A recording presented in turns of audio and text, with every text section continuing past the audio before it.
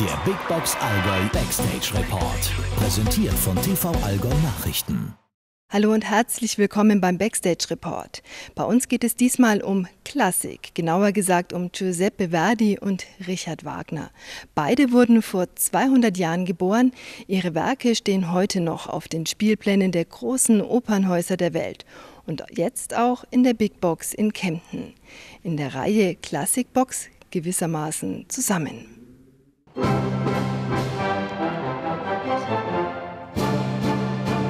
Möglich machen das die Münchner Symphoniker, hier bei der Probe mit Dirigent Ken David Masur. Aber passen Wagner und Verdi eigentlich auf eine Bühne? Sie passen insofern beide gut zusammen, als sie zwei, kann man so wirklich sagen, Antipoden sind. Sie haben zwar zur selben Zeit gelebt, haben aber haben die, beide die Oper weiterentwickelt, aber in zwei ganz verschiedene Richtungen. Äh, beide Personen haben extrem polarisiert sowohl Wagner als auch Verdi zu Lebzeiten. Beides sehr, sehr schwierige Charaktere.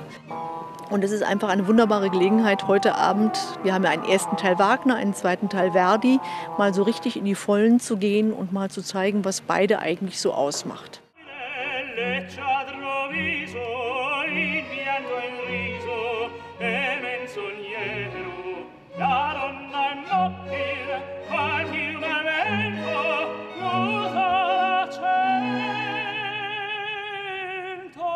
Die klassische Musik scheint ewig aktuell. Auch die Stücke von Wagner und Verdi haben bis heute nichts von ihrem Zauber eingebüßt.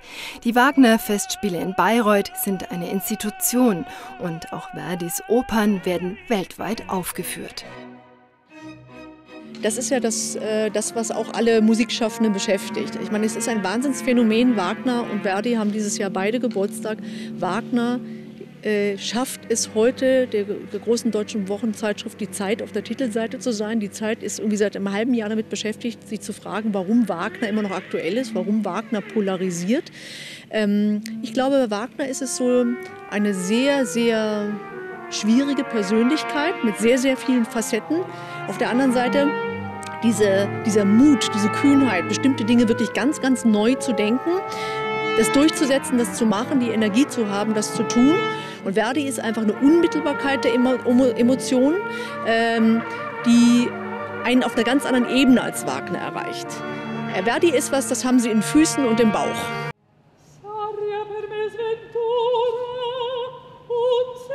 Ist klassische Musik schwierig? Muss man viel darüber wissen?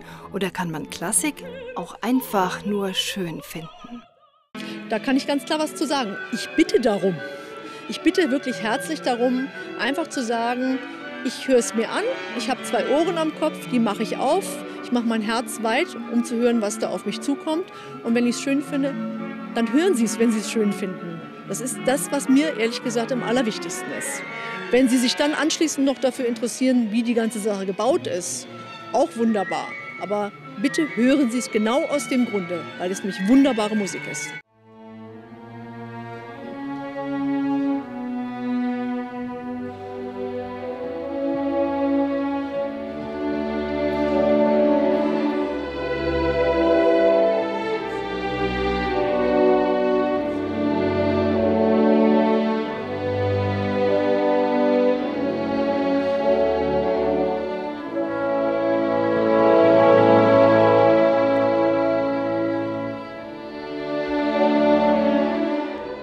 Ein großes Ereignis zum Abschluss der aktuellen Konzertreihe Classic Box.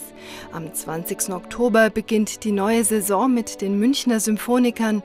Infos und Karten erhalten Sie ab sofort bei der Big Box Allgäu unter der Telefonnummer 0831 für Kempten 570 5533 oder im Internet unter www.bigboxallgäu.de.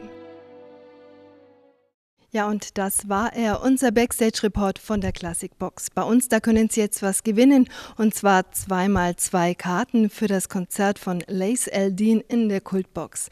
Schreiben Sie uns einfach eine E-Mail an backstage.tv-allgäu.de.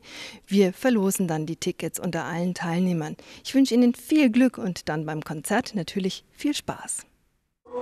Der Big Box Allgäu Backstage Report. Präsentiert von der Big Box Allgäu. Alle Events und alle Veranstaltungen gibt es auf bigboxallgäu.de.